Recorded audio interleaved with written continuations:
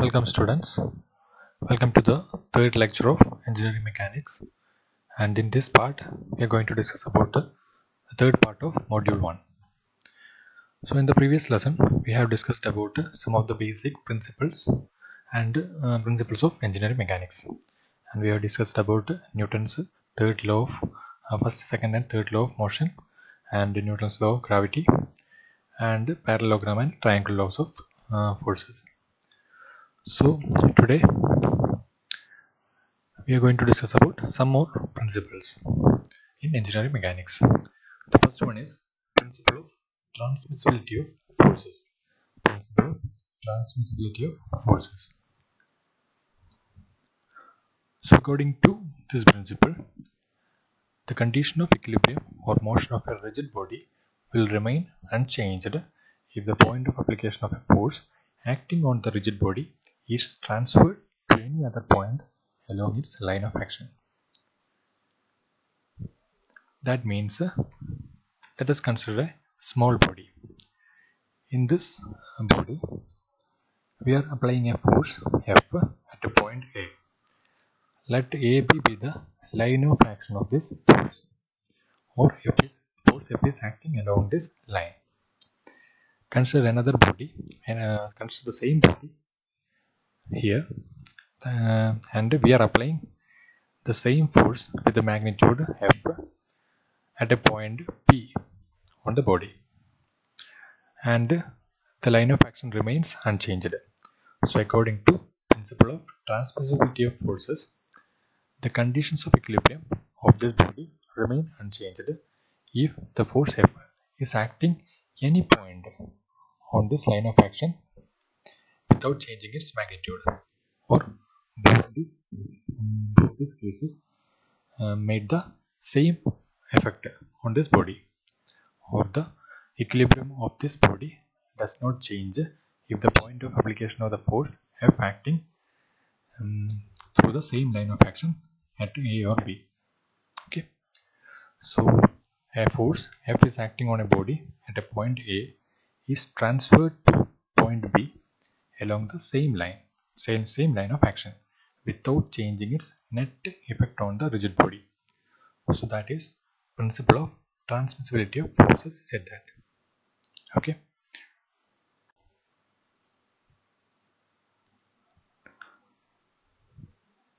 So the principle of transmissibility of force is again defined as the principle of transmissibility state that the condition of equilibrium or the motion of a rigid body will remain unchanged if a force F acting at a given point A on the rigid body is replaced by a force F dash of the same magnitude and the same direction but acting at a different point B provided that the two forces have the same line of action.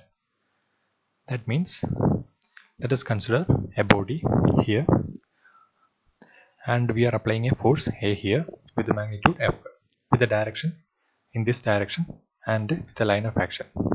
Okay? And and another and the same uh, same body we are applying. We are replacing this force with another force F dash and applying at a point B on the same line of action. And both will both will result the same uh, condition. Or the condition again uh, remains unchanged if we apply force F4 F dash of the same magnitude at point A or B on the same body. Okay, this is known as principle of transmissibility of forces. This is a very important criteria in the equilibrium condition of a body. Okay.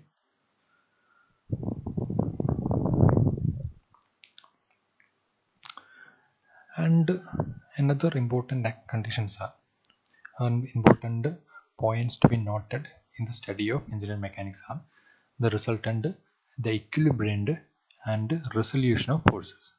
Okay, the composition and resolution of forces and uh, resultant equilibrium and resolution of forces. So, what is a resultant of a force or resultant of a uh, set number of forces? If the combined effect of several forces, let F1, F2, F3, etc. are acting on a body, and the combined effect of the of effect of these forces acting on a rigid body is the same as that of a single force. We are replacing uh, this uh, F1, F2, F3 with a single force R. Then this R is called the resultant force of F1, F2, F3, etc. That is, if the combined effect of several forces F1, F2, F3, etc. acting on the rigid body is same as that of a single force R, then R is called the resultant force of F1, F2, F3. Okay. If a number of forces are replaced with a single force and with the same uh, effect on the body, then that result that is known as a resultant of a force. And a force equal and opposite to the resultant force is known as equilibrant of that force. A force which is equal and opposite to that of resultant force is known as equilibrant of uh, that of, of that resultant force. Okay.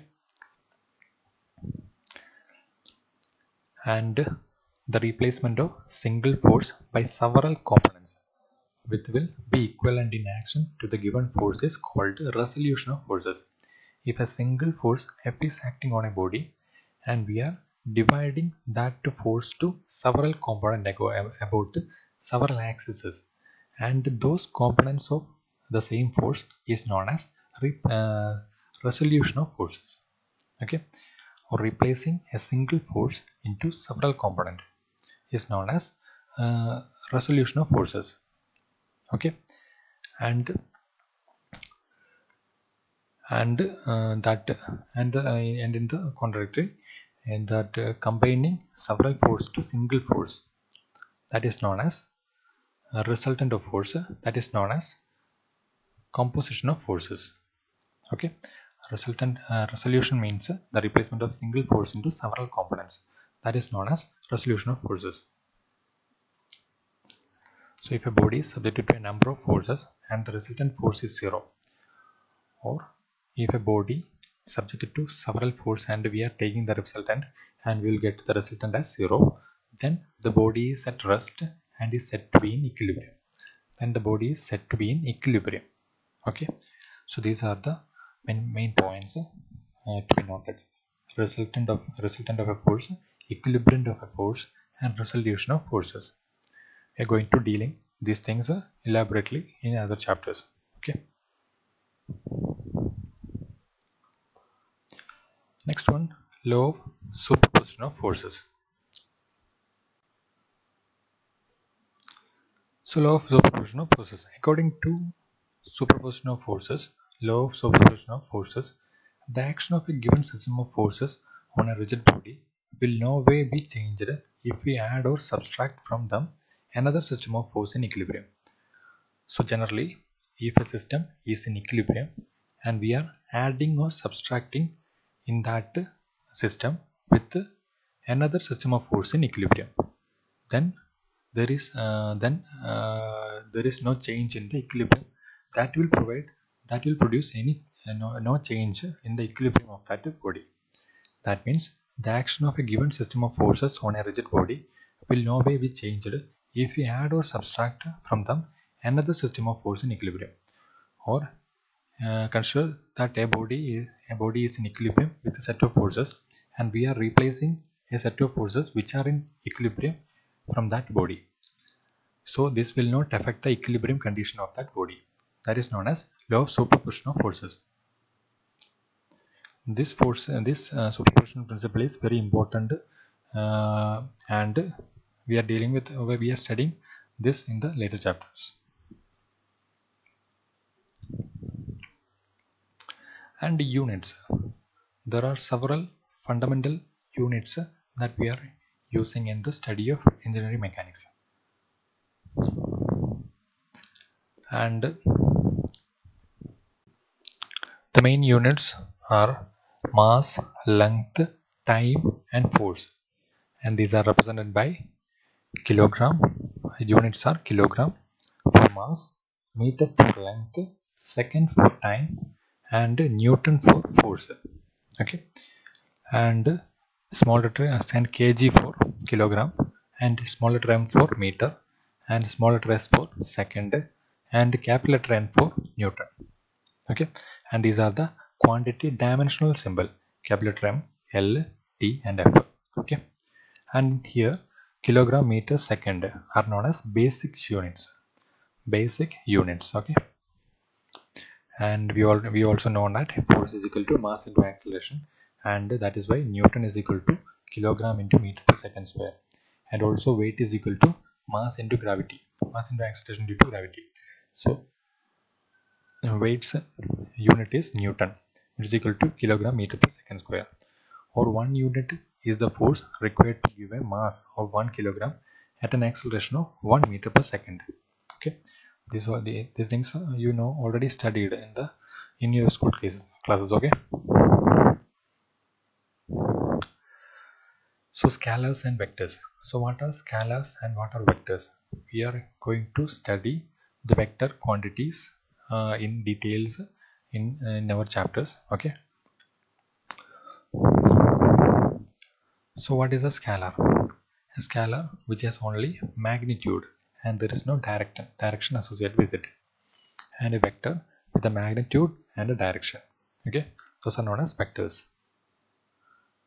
so scalars have only magnitude as is associated and the examples are time volume density speed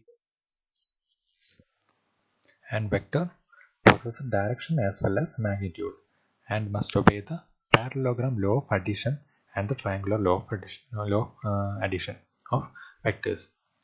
Examples are displacement, uh, velocity, acceleration, force, moment, momentum, etc. Here, speed is a uh, scalar quantity and velocity is a vector quantity. And equivalent vector can be calculated by uh, if there are two vectors v1 and v2 then equivalent vector can be calculated by using uh, parallelogram law or triangular laws okay by using vector sum speed is a magnitude of velocity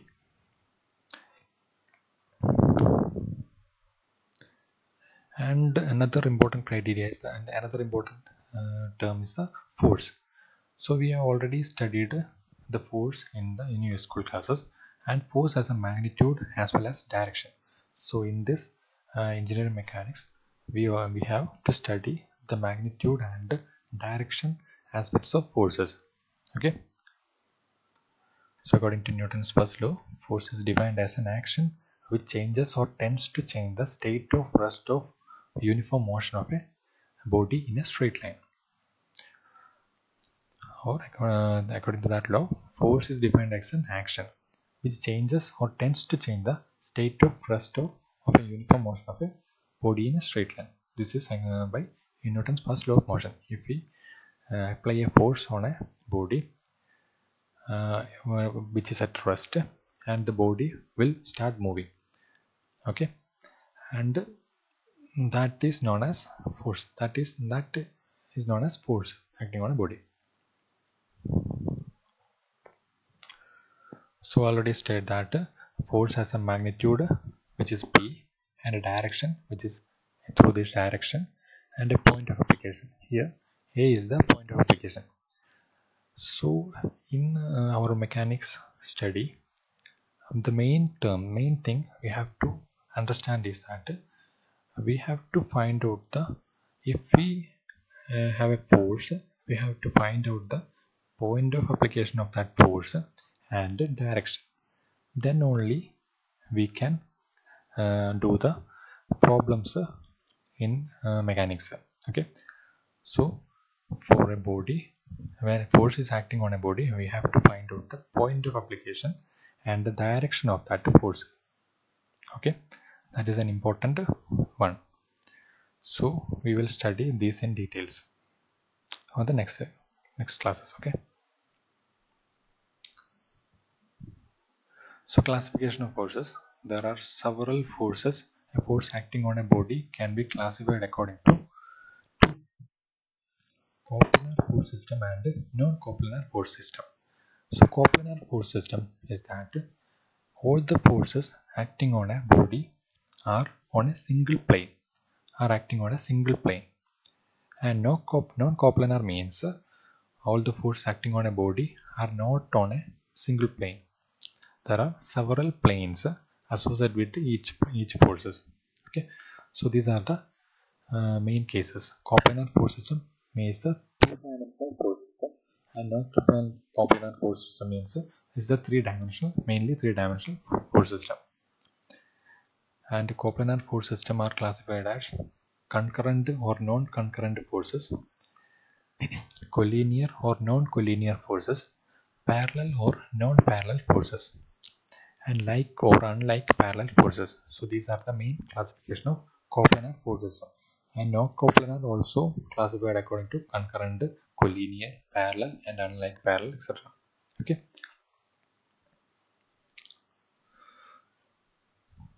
So what is a coplanar forces? In a coplanar forces, all the forces are lie in a single plane and is called as coplanar forces. Here this is a coplanar concurrent forces. Concurrent force means all the force acting on a body meets at a single point and that types of force are known as concurrent forces. Coplanar concurrent means all the force acting on a single plane and which meets at a particular point that is known as coplanar concurrent forces and coplanar concurrent force non-concurrent force means all the force acting on a single plane and they are not meeting at a single point. And coplanar collinear phase, uh, collinear forces means both the forces are collinear or on the same line and which is acting at a same plane. Okay, and coplanar non-collinear means uh, both the forces are acting on a single plane and which are not collinear or not linear with each other. And next term is coplanar parallel forces. All the forces are parallel to each other and which are acting at the same plane. And like parallel and unlike parallel forces if all the forces are not on the same direction acting on the same direction then it is known as coplanar unlike parallel forces and if the forces acting on a plane are parallel and which are acting on the same direction those are known as coplanar unlike parallel forces.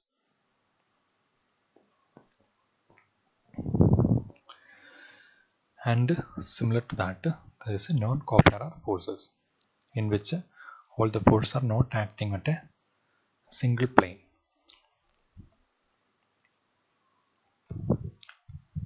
So when all the forces acting on a body which are not uh, lie on the same plane and such forces are known as non-coplanar forces. So non-coplanar forces are classified as non-coplanar par parallel forces. All the forces are parallel and in that there are like parallel and unlike parallel forces. And also non-coplanar, not non-coplanar non concurrent forces. All the forces meet at a single point and which are not acting on a single plane. And there are uh, non-coplanar non-concurrent forces in which all the forces uh, acting on, not acting on a single plane and they are not concurrent forces okay so these are the main terms you have to study in this uh, lecture. And those are you have to study the uh, transmissibility of uh, forces superposition principle and uh, resultant equilibrant etc okay? So take a note from these lectures and uh, and we can we can study more about this in the later chapters. So thank you